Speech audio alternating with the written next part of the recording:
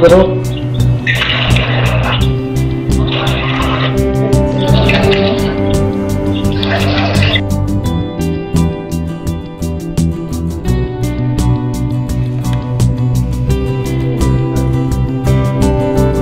आप सभी को मैं सूचित करना चाहूँगा कि बहुत हर्ष विषय है कि हमारे बीच में खुशू एसोसिएशन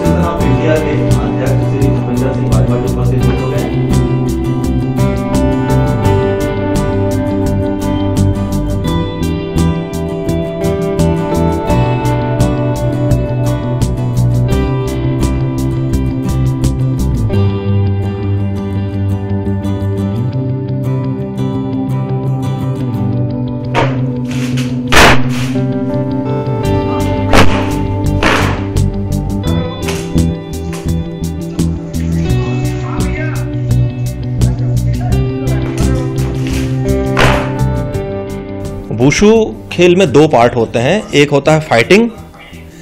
उसके लिए ज़रूरी है कि दो खिलाड़ी पास में रहें आमने सामने एक दूसरे पर अटैक करें। ऑनलाइन वो स्पर्धा संभव नहीं थी तो हमने दूसरा पार्ट जो होता है वुशु का, जो मात्र प्रदर्शनात्मक खेल होता है। इसमें खिलाड़ी तलवार, डंडे, भाले और खाली हाथ, इनका एक इवेंट करते हैं।